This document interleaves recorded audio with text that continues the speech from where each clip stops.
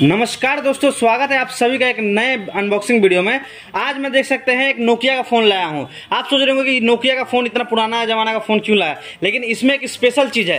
ये आपका 4G phone है। मत, मतलब आप इसमें जियो सिम यूज़ कर सकते हैं। जी हाँ यहाँ पे देख सकते हैं इसका लिखा भी हुआ है Nokia two twenty five four G देख सकते हैं ये फोर जी फ़ोन दिया हुआ है। इसमें कैमरा भी दिया हुआ है और इसमें देख देख सकते हैं बहुत सारा फीचर्स दिया हुआ है। आप या पीछे में देख सकते हो तो मेन हाईलाइट दिया हुआ है H D call over four G network मतलब फोर जी नेटवर्क में भी ये काम करेगा। ओपेरा मिनी ब्राउज़र भी दिया हुआ है इंटरनेट के लिए, ठीक है? रेयर कैमरा भी दिया हुआ है ज़ीरो पॉइंट 0.3 मेगापिक्सल का। इसमें आपको कैमरा दिया हुआ है। 2.4 इंच का आपको देख सकते हैं डिस्प्ले दिया हुआ है और इसमें देख सकते हैं वायरलेस एफएम दिया हुआ है, ठीक है? चलिए आज इसी का अनबॉक्सिंग करते हैं और आपको दिखाते हैं कि कैसा इसका डिज़ाइन है और इसका क्या क्या इसका फीचर्स है और क्या इसका प्राइस है। तो चलिए इसको अनबॉक्सिंग कर देते हैं। ये देख सकते हैं, मैंने इसको बॉक्स को यहाँ से खोल लिया है। देख सकते हैं, खोलते ही देख सकते हैं हमारे पास ये फ़ोन आ गया है। फ़ोन को रखते हैं पहले साइड में, ठीक है? अब पहले इसमें देख सकते हैं, इसमें आपको दिया हुआ है एक चार्जिंग के लिए यूएसबी पोर्ट चार्जर दिया हुआ है, देख सकते हैं,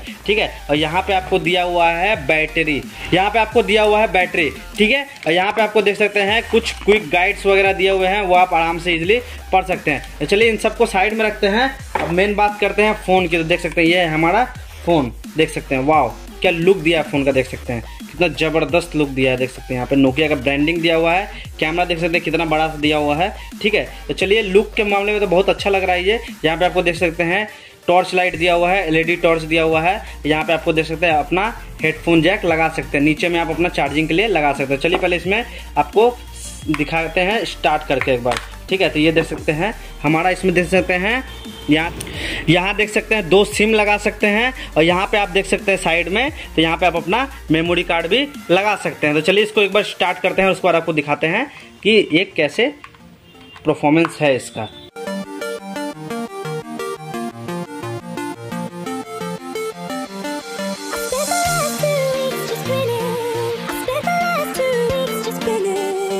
यहाँ पे।